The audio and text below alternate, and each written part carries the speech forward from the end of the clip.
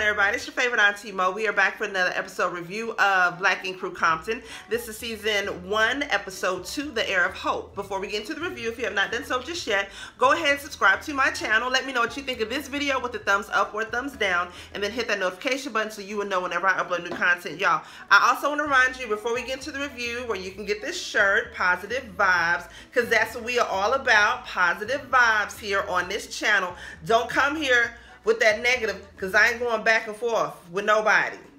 I ain't come for nobody. I ain't sending for nobody. We all about positive vibes. You can get this shirt at Andrea's Clothing. I will leave the link down in the description box below. And I love this little shirt, y'all. It fits me right. It's cute. And I've been getting a lot of compliments on it. So shout out to the creator. Her name is Briante Craig. Young, up and coming entrepreneur, black girl magic, brown skin girl, all of that doing her thing. Shout out to you, baby girl. Um, I hope y'all are ready for this review. This episode was pretty good. Um, I hope y'all are ready for the review. I'm ready to give it to you. Let's get right on up into it. All right, y'all. So KP and Penny Proud, they up in the gym going hard in the paint. They got the ropes. They got the bean bags. They got the bells and whistles up in there. They in the gym going hard in the paint. And you know what? It just made me miss being in the gym because I used to be addicted to the gym your girl hurt her back and I fell all the way off. And no, that ain't no excuse or nothing like that. I ain't saying nothing like that. Because, you know, I've been getting back right. You know I'm saying? A little bit here and there. My man still like a hat. But no, for real, y'all. They up in the gym. They going hard in the paint or whatever. And she can see that he's frustrated about something. So she like, baby, you know, what's up? What's going on? You up in here training like a damn gladiator or something. About to break my damn back. Like, what's going on? So he tells her the meeting with the OGs did not go so well. He did not get the blessing. Because you remember on the last episode, um, at the very end of that um, episode, KP and um, his cousin Tim, that's who it is, his manager, they end up going and meeting with a couple of OGs. Now, they thought it was only going to be a couple of, you know, two, three of them here and there. Turns out it's like 5,100 bloods that roll up in there Tim uh, Tim ended up getting jumped that night. That's what KP tells Kyla. And so um, she's like, you know, she understands that he means well. He wants to do something well for the community. He wants to, you know, bring uh, positive vibes to Compton. And so he wants everybody to see that. And so she knows that and she wants to have his back on that. And she tells him that, you know, this is dangerous out here on these streets because she born and raised in Compton. She knows all about everything that's going on over there, the gang violence, how the gangs rule the neighborhoods. Damn what you got to get from the city, the permits and, and, and all of this and approvals for this and the other. You got to get approval out here from these streets too. And if the streets ain't feeling you, you ain't finna get a damn thing out here in these damn streets. So she tells him, you know, I got your back regardless of what you want to do. I'm to ride this thing till the wheels fall off. I just want you to be careful because she does want her babies to see, you know, their daddy out there doing something good. But he tells her, you know, he don't know if he doing the right thing. Everybody on edge since Nip done got murked. They see if if a nigga gon' kill Black Jesus out in front of everybody, in front of all his disciples, they crazy out here. Everybody on edge. Don't nobody trust no goddamn body. And so he don't know if he doing the right thing. Still, he wants to bring something positive to the community. So he like, look here, I'm gonna have to pray on this. I'm gonna have to get this to God. We gonna see what this thing gonna do it do. Y'all, so Vudu Dahl and Nessie, they all having some little girl time or whatever bonding. I thought it was real cute. They out riding scooters around around the city or whatever. They stop, get a little something, something to eat on. So they just chilling, having some girl talk or whatever, right? So Nessie asked Vudu Dahl, you know, you at the shop, is there anybody that you feeling? Anybody you think cute? Yada, yada, yada. Vudu says she kind of feeling Barbie. Nessie like, um, shit, I see you, girl. And she like, but Vudu Dahl, you know, she she this is gonna be her storyline. She always talking about how she was in the cult. Now, don't nobody know her struggle, don't nobody know her life, don't nobody know what she had for breakfast. I get that, that's gonna be her storyline. She gonna ride this thing to the wheel fall off, baby. I mean, you know, I'm not even gonna say that. I'm not gonna say that. But you know what I'm saying? She was saying, you know, because she used to be in this cult, how she was very sheltered, she couldn't do anything, but now she gets to be out, she gets to be free. She's a trisexual. She gonna try any damn thing. You down for it, she down for it too. So she feeling Barbie or whatever. Nessie say she got this little guy that she talking to, little whoop the whoop, you know, little yang yang, whatever. And um, she trying to see where things go with that. She trying to take it slow. She said she used to date this nigga that had a whole fake life, had fake jobs, fake uniforms, died a lot about a fake baby that died, like oh, a, a real catfish type nigga. Y'all, hey, shout out. Watch my catfish reviews. These last couple ones been crazy, and I'm finna do a couple of them more. Watch my catfish reviews, y'all. Anyways, but yeah, he was. She just talked to some old crazy ass nigga. She talked to some new nigga. Hopefully, everything work out from them. It was just cute, you know. It was a little girl time, whatever moving on from there. Y'all, so this next scene irritated me. It irritated me because I can already see how Danielle is finna get on my damn nerves. Danielle and Lemire, they're at their crib chilling or whatever. Barbie come over to the house. She's coming over there to talk, hang out or whatever with Danielle. Lemire like, okay, I can already see it's finna be, you know, y'all finna have your little girl time, gossiping shit. I'm finna move around. He leave.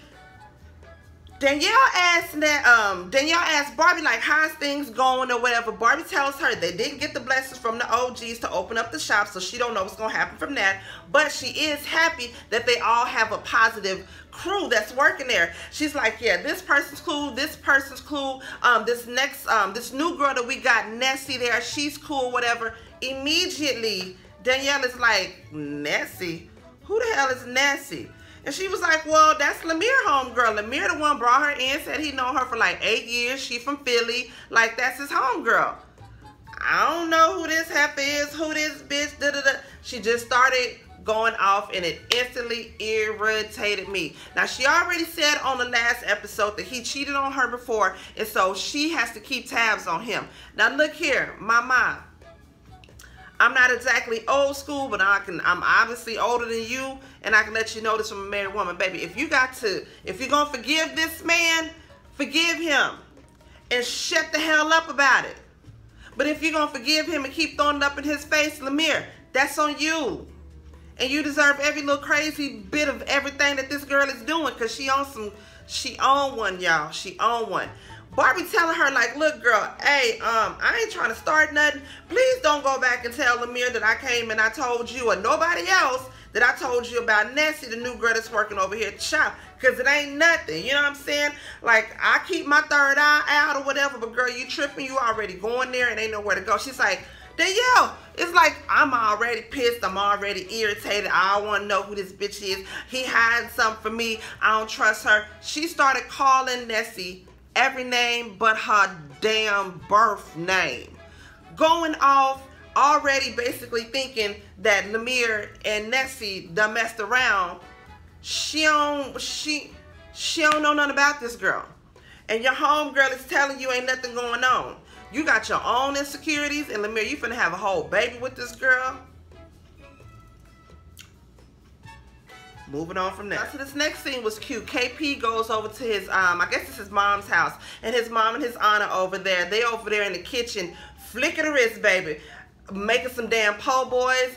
Oh, I wanted to eat them damn po' boys through the goddamn screen. That's my problem. Now I see food and I want to eat them shits. But them damn po' boys look good. He telling his mom and his aunt about how the meeting went with the OGs, how he didn't get the blessing, and how he's, you know, basically stuck. He don't know what to do. He got an old school praying mama. His mama was cute too. Old school praying mama. She like, baby, uh, what you going out here asking these little ashy kneecap niggas the blessing to open up your shop. The only person you need blessings from is Jesus. And if it ain't Jesus or one of his disciples, baby, you don't need the blessing from none of them ass kneecap niggas. You better go on out there and open your damn shop. You my baby. I ain't scared of no goddamn body and I ain't scared of these streets. Because see, he said his mom was born and raised in Compton as well. She don't play that shit. You do something to her, baby, she want to. Hun, about five of her ride or die homegirls gonna be at your trap house and waiting on your ass at the door. She ain't scared nobody. And that's all the push that he needed. He like, look here, if my OG, triple OG mom gonna tell me to damn what them niggas say, go ahead and open up my shop, baby, I'm fit to do it. And that's just what the hell he goddamn does. Y'all, Vudu does this tattoo at her crib on this girl who's a longtime customer of hers. It's a throw little tattoo that she does on her leg, kind of like a little puppet cage type thing. I don't know, that was that was cute or whatever. Once again, she's talking about how she was born and raised in a cult. She was saying how she is the oldest of 13 kids. The um, her final reasoning for running away, she said she was 20 years old. Her stepfather tried to get her in an arranged marriage. She ran away. Ever since then, she been young and wild and free out there trying to live her best free trisexual life. And I ain't mad at a girl. You know, she, again, this is going to be her storyline. She was in the cult. She was very sheltered. She didn't have a radio, didn't have TV, didn't have no friends.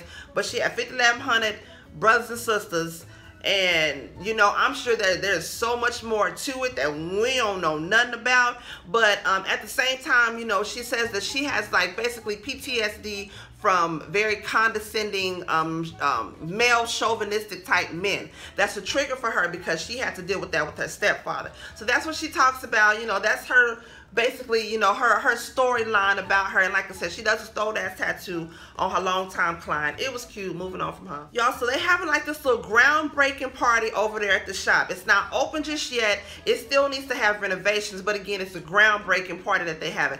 Everybody outside partying, whatever, like kind of like in the back of the shop. It's like a barbecue, little kickback neighborhood thing that they doing, right? Nessie invites her little dude that she talking to there. He shows up, everybody chilling, you know, outside drinking, smoking their legal weed, having a good ass time. The next thing you know, some girl comes and she kind of hugs old dude from behind and kind of kisses him like, hey, baby, Nessie's dude that she invited, that she was chilling with. He done invited a whole nother female to the barbecue that she didn't invited him to.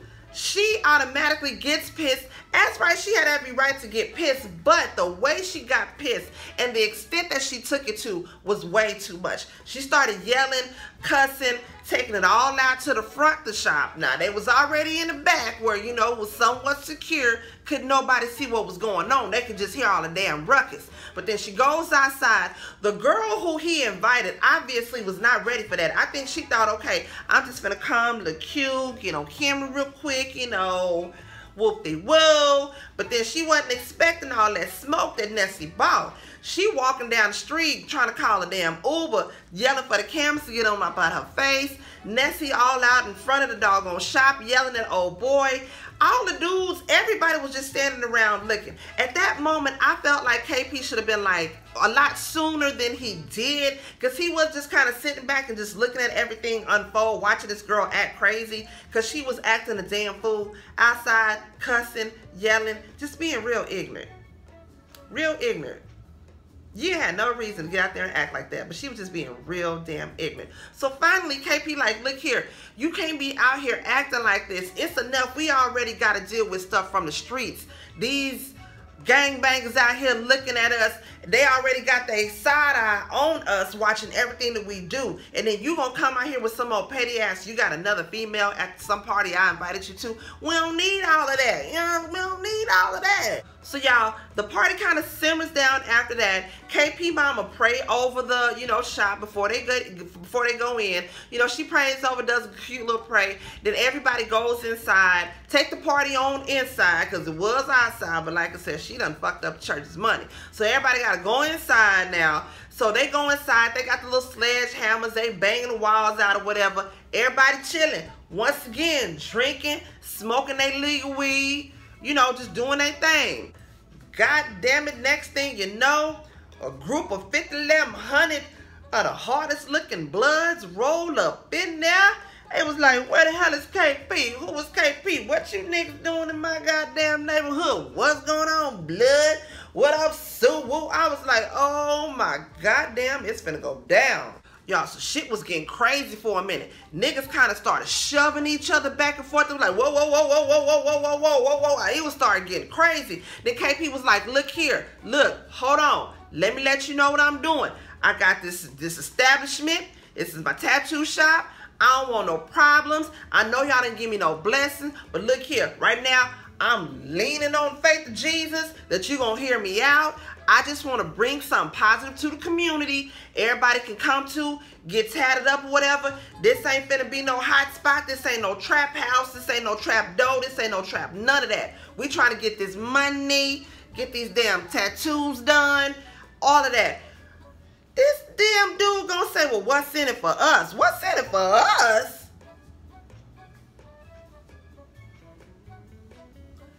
I don't know how street works, but what's in it for us? Nigga, place where you come get you a damn tattoo, come get out the AC if it's hot outside or whatever, maybe come get you a little bit of water or something, and then get the hell on up out this damn stove. That's what it's for. But, hey, it's different politics when it comes to the street streets. You know what I'm saying? I'm from the hood, but I ain't from the street streets. So I don't know nothing, I don't know nothing about them politics right there. So he tells him all he had to do was mention black Jesus. Baby, once he mentioned black Jesus, it was a wrap. KP was like, look here, I'm just trying to do what Nip was trying to do.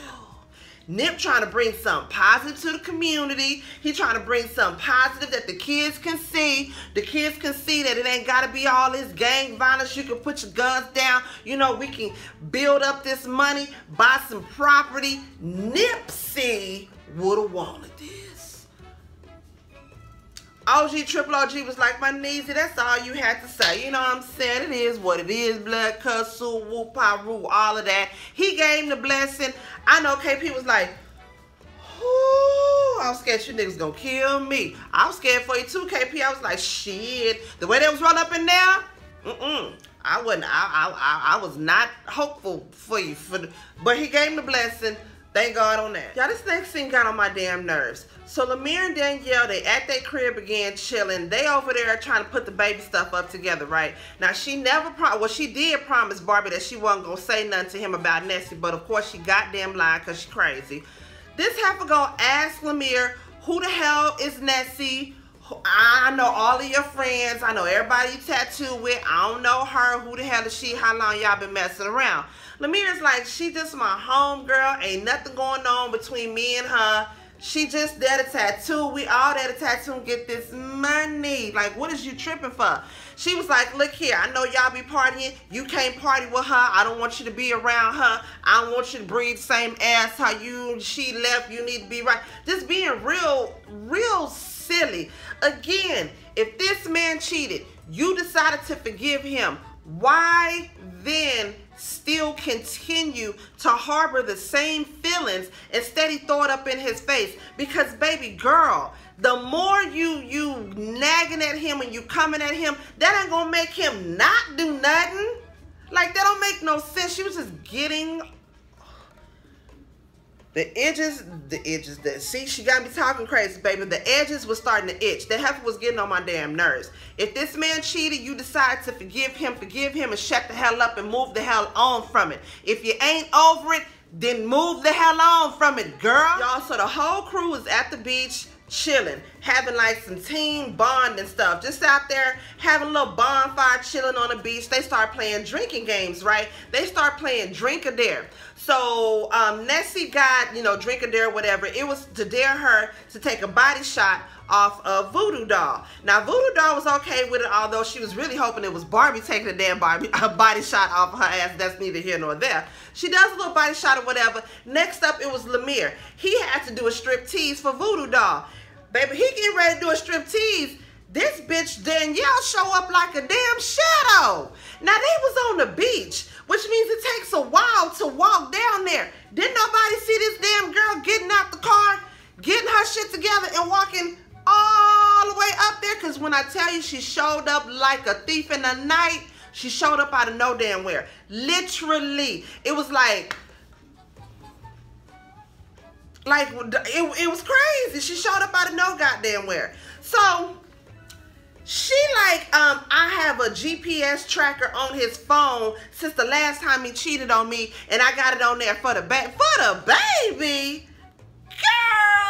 Immediately, she come in there on some petty shit. Hey, what we doing? Are we playing games? Oh, okay, cool. I want to play too. I want to play a game. Lemire like, hey, what is you doing? Like, what is you what what the hell? She like, um, I looked at the GPS and it said you over here at the beach. What are you doing at the beach? You supposed to be at work. Like, girl, you doing the absolute goddamn most. And of course, she knew Nessie was gonna be there. That's the only goddamn reason why she shows up. So she's like, no, y'all playing games. Let's play games. So she gets the truth of dare question or whatever. They ask her like, what are some things that she don't like or something like that. She's like, I don't like hoe ass bitches that try to fuck with other people, man. Everybody was absolutely caught off guard by that because again, we're on some positive vibes over here. Where the hell did that come from? Everybody is like looking dumbfounded as hell. Lemire pulls her to the side and is like, look here, you need to stop tripping. You coming out here tripping for nothing. I done told you, you need to trust me. They start going back and forth. He like, look, you need to leave. She like, okay, well, hold on one second. She goes and gets Nessie. Can I talk to you for a minute? Because they're over there arguing about Nessie. Nessie can clearly hear her name being thrown left and right out of her and his mouth. So when she pulls Nessie to the side, she tells her, um, I just want to let you know, yes, we were talking about you, hoe ass bitch, and I want to let you know you better not be messing with my man. Just ignorance. Nessie is trying to tell the girl, look here, ain't nothing going on with me and him. There has never been anything going on with me and him. At me, side note, outside of looking in, she ain't messing with that boy. What is wrong with you? Nessie is trying to tell her that. Lemire tells Nessie, look, can you go over there, please? Can you go over there? Again, he tells Danielle, you need to leave. She gets mad and she ends up leaving. As he comes back, Nessie's like, Lemire, you should have just let us talk because I was trying to let her know, like, look, ain't nothing going on with me and her. Lemire's like, nah, ain't nobody finna talk to my girl because I know that can lead to an argument. Nessie is trying to let him know, look, it would not have led to an argument. One, because I wasn't going to let it go there and two, we are just two grown women trying to have a conversation. But he know, he know his woman, his baby mama, she ain't no grown woman. She ignorant and she on some old, and she about to be your baby mama. Boy, you in for some shit. You in for some shit. She finna have your ass in some shit. She gonna use that baby as a weapon on you, and I feel bad for you for that. I feel bad for even saying that. But you can already see that's what she's doing now. She's very, very she just does the most. And so Lemire starts getting irritated with Nessie yelling at her. Ain't nobody gonna talk to my girl. Period. That's what it is. Ain't nobody gonna. He started going off on Nessie. Then Tim and KP telling Lemire, hey, you need to check your girl. You need to get your girl in check. Okay, and uh, telling them, yeah, when I get home, I'm gonna take care of it. Now, Vudu Dahl sees this, and Vudu Dahl starts having PTSD and flashbacks of how chauvinistic much all that that her dad her stepdaddy was. And so that starts to put her in her own feelings. She then tells them y'all are some you know chauvinistic assholes. Again she's got her own feelings that she's in. Tim then decides okay let me be an asshole and let me do this. He says i think somebody needs to cool down and then proceeds to spray her in the face with a water gun. Now i don't know just me I didn't see nothing funny about that whatsoever. Yes, it was out of line because they don't know where she was coming from. And at that moment, had they been human being and seen that, okay, she and her feelings about something, what are you upset about? They could have talked to her to see what it was that she was upset about. But instead, being on some real petty, ignorant shit, they spray in her face with a water gun. She gets pissed. She tries to chase after Tim falls down, all the guys start laughing at her. KP as well. KP was just kind of sitting back, just watching everything. Watching everything. As a leader, KP, you should have been the first one to break all of that up. Like, no, hey, stop. We not finna do none of this. So Vudu Dahl gets pissed off. She like, y'all are ghetto as hell. Yeah, that was ghetto. I was right there with you, Vudu. That was ghetto. She gets pissed off and she leaves y'all, and that's the end of that episode right there. Again, I did not see nothing funny when they sprayed her in the face with a water gun. I get like, yeah, you need to chill out, cool off, like you getting heated. Chill out. I get that. But at that moment, she was feeling something. And y'all should have been like, hey, like, what's going on with you? What are you and your feelings for? And then you could have had a conversation like two human beings, had some positive vibes, and everything would have been all right. If y'all watch this episode, y'all let me know what y'all think about it. Drop down in the comments below and let me know what y'all think. Once again, don't forget about Andrea's clothing. I will leave her info down in my description box. Please don't forget to like, comment, subscribe, and share. And Auntie will see y'all in the next video. Peace out. What's up, y'all? Do me a favor and share the video. Please make sure to subscribe to my channel. Let me know what you think and um, hit that notification button so you will be up to date when I upload my latest videos. I holla.